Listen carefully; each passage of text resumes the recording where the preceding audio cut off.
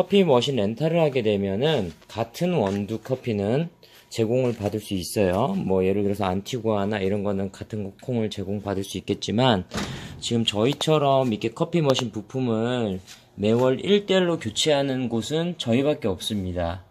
현재 대한민국에선 저희밖에 없고 이것이 진정한 렌탈이 아닌가 싶어요.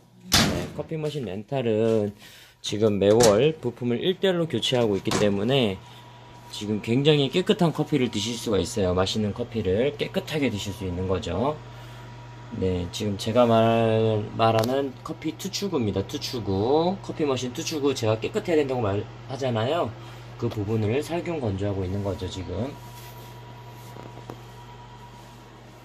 네, 오늘은 또 많이 늦었는데, 이렇게 이제 소독을 좀 하고 퇴근을 해야 될 것 같아요.